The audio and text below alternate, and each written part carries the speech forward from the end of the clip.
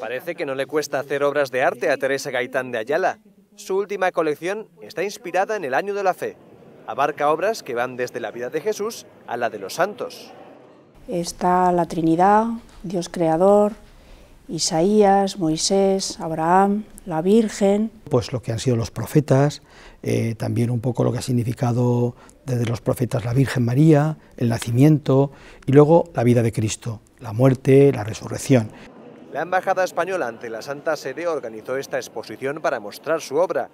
La artista española ha decidido centrarse en temas religiosos porque le inspiran, aunque reconoce que también es por cuestiones prácticas. Antes pintaba retratos de personas y siempre era un problema porque la gente no se gusta a sí mismo. Y entonces, pues la verdad, eh, la exposición que hice de santos estaban, no se quejaba ninguno, estaban todos muy contentos.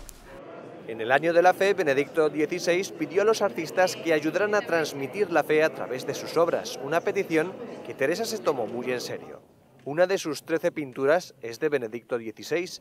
Está basada en una foto que muestra al Papa emérito mirando la cruz con intensidad y afecto. También hizo un cuadro del Papa Francisco mientras besa los pies de un niño enfermo el jueves santo. como es española, pintó otro de San Juan de Ávila. Su objetivo es inspirar con su obra y mantener viva la fe.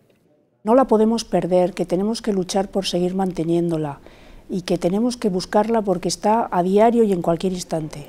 La colección no es simplemente arte por el arte, aunque servirá para una buena causa. Todos los beneficios de la obra serán donados a una congregación de religiosas españolas.